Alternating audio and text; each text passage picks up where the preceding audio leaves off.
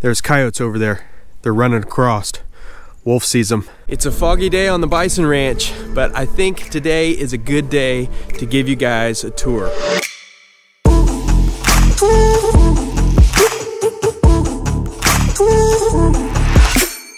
I'm waking them up from their nap. They're all being lazy. They always have to have a good stretch right after they get up.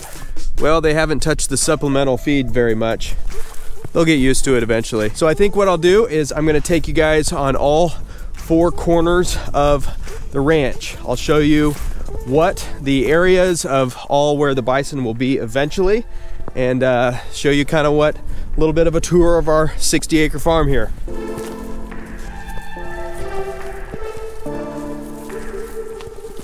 It's pretty foggy out today and the reason for that is we had a fair amount of snow um, not too long ago, a couple inches, which is, I don't know, I guess average for us here in this area, uh, but it's warming up today. It's over freezing. It's probably in the upper 30s. It's supposed to get into the upper 40s today. And so all that snow is melting and it's evaporating and creating kind of this fog. It's really, really pretty out right now, but can't really see too far. You can see maybe uh, a mile or two right now. Wolf is coming along for the ride.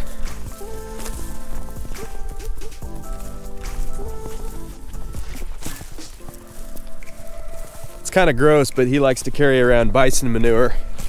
I don't know, the taste that dogs have. I wouldn't want it.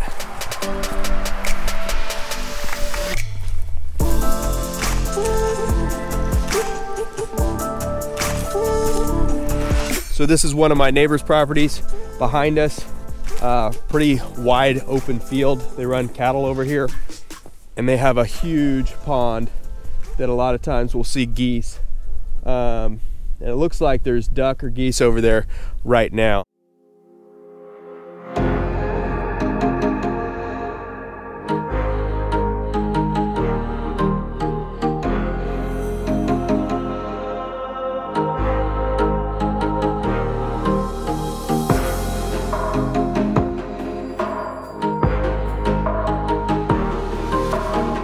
Kind of up on top of a hill and this is the back area of the farm. And this is basically uh, what we had cattle in this area and it's connecting to that six acres that we fenced last winter for the bison. So we're gonna head this way and this is getting outside of where the bison are now but eventually they'll be here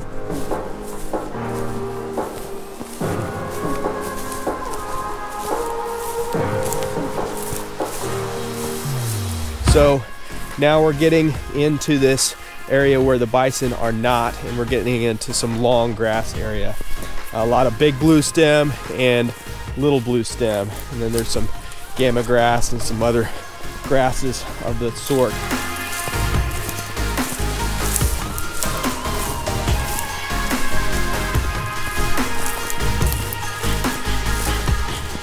You can see all the frost on the tips of this little blue stem here.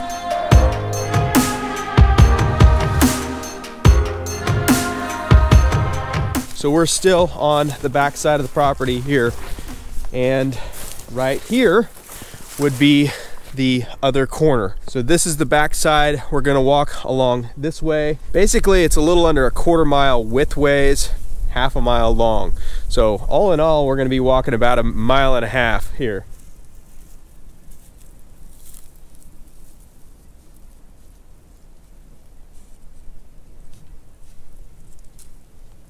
This area through here is really pretty. It has a fair amount of mature cedars, a lot of uh, wildlife, a lot of deer run through here.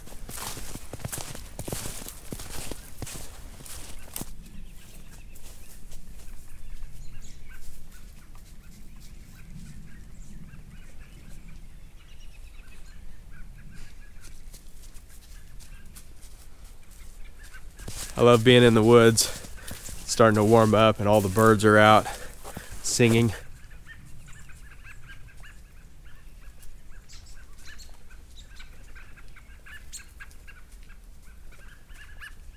Seeing a lot of robins and blue jays, cardinals.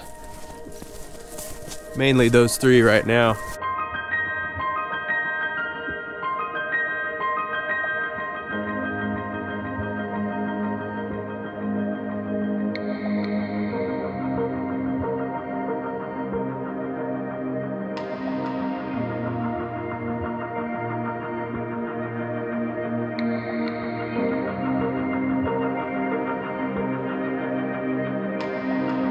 So this side of our property, our neighbor runs cattle, um, and there's a barbed wire fence here. It's fairly dilapidated, so that is going to be um, a future project to be able to repair that or uh, rip it out. We basically repair it, tack on some electric fence, or rip it out and then just put in. I missed that on camera. There was a cubby of quail that flew up. But anyway, um, so we'll either be repairing that uh, or we will rip it out and put in electric fence, high tensile eventually. Here's a small area where we have a food plot and a feeder for the deer. Walking along here to the fence line, you can look over and see one of our lower fields with a lot of prairie grass in it. This here, this stretch, I always loved this. Really pretty wooded area here.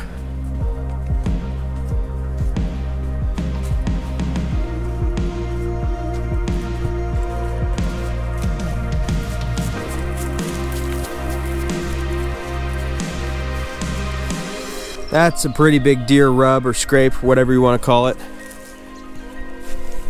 Wolf actually looks a little menacing running through these cedars like this. He actually looks a little bit like a black wolf.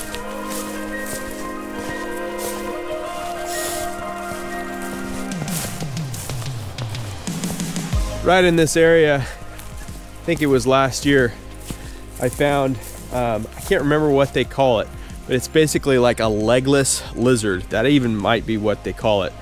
So weird. It has the face of a lizard um, and the body of a lizard, but there's no legs. And it moves like a snake. Very, very strange creature. Never even knew they existed until uh, I found one out here. And this was probably about a year, year and a half ago. It's fairly noisy out here with all the birds going. They are being very vocal right now.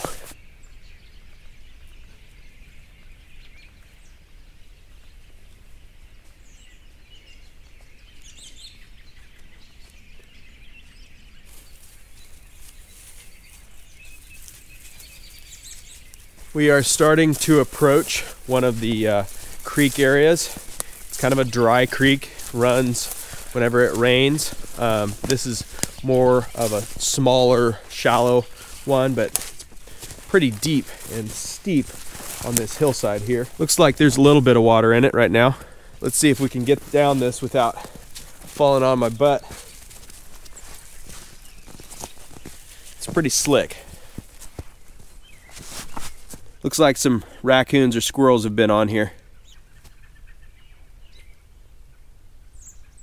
Some of this fence along this side is a field fence. So it's like that square cattle fence. So it's kind of mixed in between the barbed wire and that square cattle fence. This is kind of a walnut grove. I would say that there are literally thousands of walnuts here. A lot of walnut, a lot of ash, um, but mainly a lot of walnuts. A lot of cedars too.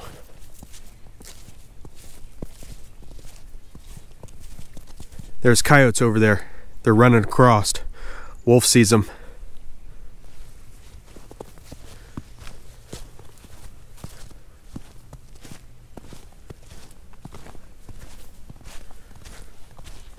Leave him be. Good boy. Good boy. Good boy.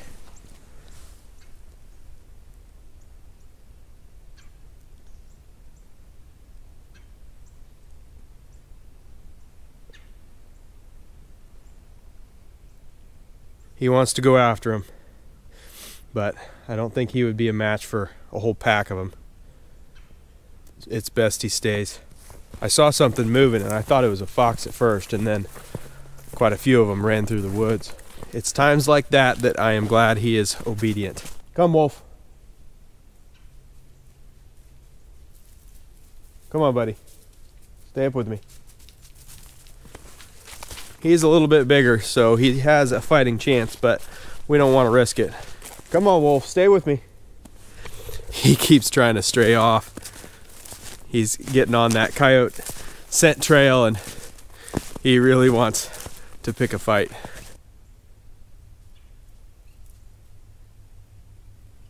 Come on, buddy.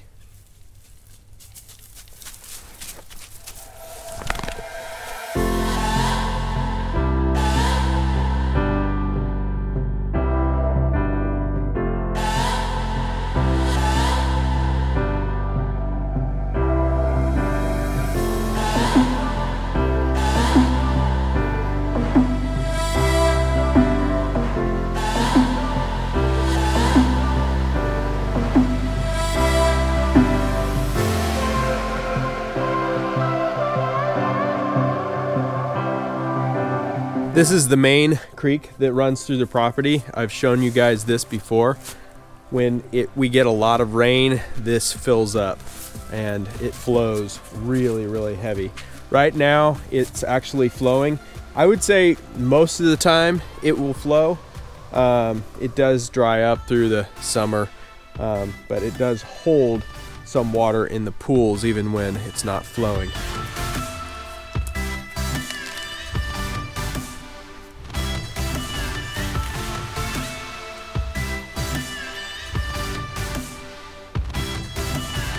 That'll be a good source of water if we ever get to uh, fencing this for the bison. I don't know when that's going to happen though. Uh, mainly we're focused on those front fields because that's really where you have all your forage and your grasses.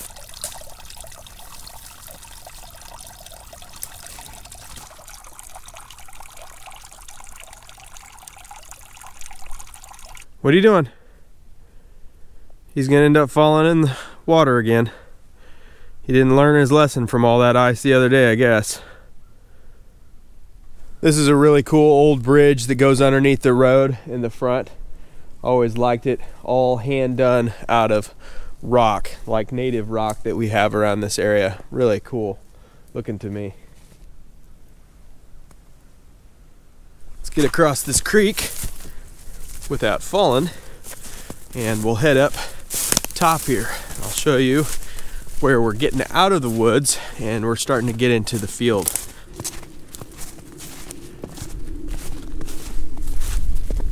So this is what's left of that old silo area where they used to pile silage up and let it ferment. My neighbor took off one side of it here and put it over onto this other side so that we can fence this whole area soon, hopefully. Got to walk across this front area and then we'll take you a half a mile back to the bison. This is where most of our pasture is. This is where most of our native grass is and where we're really going to be focusing on fencing first because this is where all the forage is. We will fence the woods someday, but right now we're really focused on this front field, side fields, all the, the fields is what we're really wanting to get done first. And there is another corner of the property. So as you can see right here, this is our property line. And this is all native grass. Kind of looks like the beach out here with all this native grass standing up tall and all the white snow. Kind of looks like sand.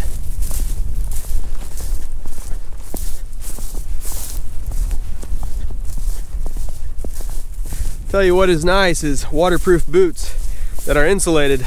My wife bought me some for Christmas.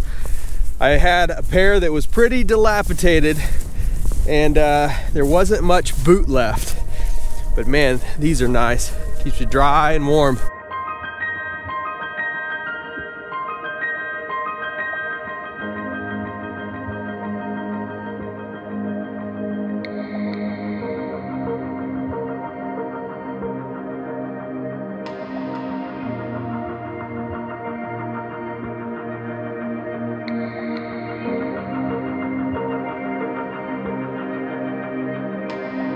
The sun is finally starting to peek over there.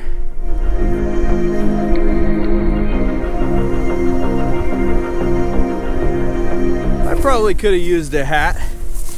It's a little chilly. My ears are starting to sting a little bit. We're getting close. Look how far we've come. Way over there. This field right here is what we fenced last winter. So there's six acres here and there's way more than six acres here. We just need to walk all the way up there and we're to the bison. It looks like we need to break ice for the bison.